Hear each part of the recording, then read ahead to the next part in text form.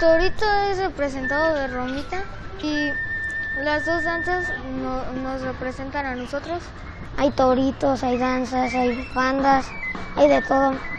Se creó cuando un toro se soltó en una hacienda llamada la Hacienda de la Laja y nosotros eh, imitamos intentar atrapar al toro y volver a meterlo al corral. Esa tradición ya lleva desde muchos años aquí en nuestro municipio. Lo que me han contado de la historia es que un toro se escapó, mientras que los dueños de la hacienda habían hecho una fiesta muy grande para festejar las buenas cosechas. Y entonces se juntaron todos en la rejolina, que fue donde todos lograron ganarle al toro.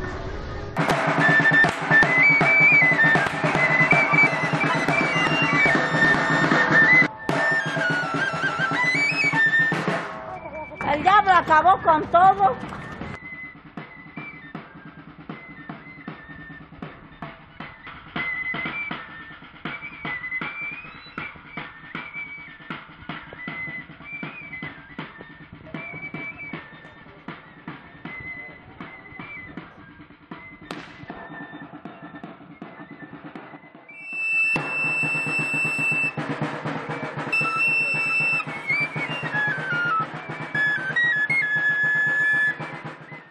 Mi nombre es Ailú. Este, yo soy bailarina desde los tres años y como es tradición de aquí de Romita, Guanajuato, vi bailar el torito. Me llamaba mucho la atención, pero al ver que no lo bailaban mujeres, eh, pues yo fui, fue como un ideal, se me fue haciendo como un, un sueño poco alcanzable. Como pude me fui metiendo a esto de, por parte del grupo de danza tradicional folclórica, este, fue de manera que yo me acerqué a bailar la danza del torito. Mi bisabuelo bailaba la borracha, entonces yo quise representar la borracha para poder seguir representando a mis antepasados. Es una tradición y es algo donde tú puedes expresar.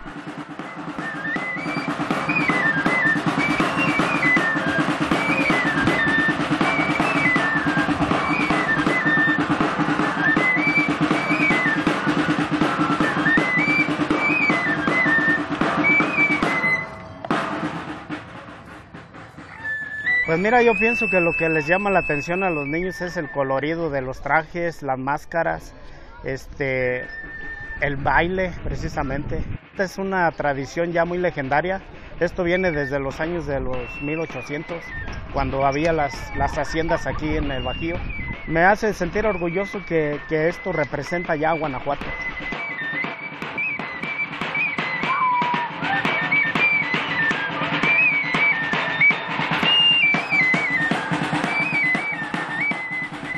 Que más disfruto de hacer la danza es estar con mis amigos, me divierto mucho.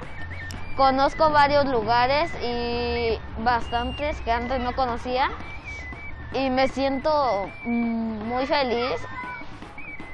Que es algo que distingue a los romitenses, que todas son bienvenidas a formar parte de nuestra, de nuestra cultura.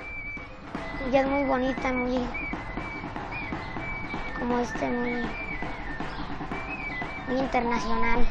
Les diría que la danza del torito es una tradición muy bonita, que ahí puedes demostrar todo lo que quieras y que además puedes apoyar a que además niños, niñas, adolescentes y adultos se animen a bailar esta danza del torito. Yo pienso que si desapareciera, Romita no sería Romita. La gente, yo pienso que no se sienten sin su torito, no, no viven sin su torito.